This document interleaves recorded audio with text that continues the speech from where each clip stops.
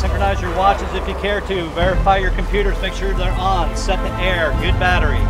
Breathe both regulators, primary and secondary.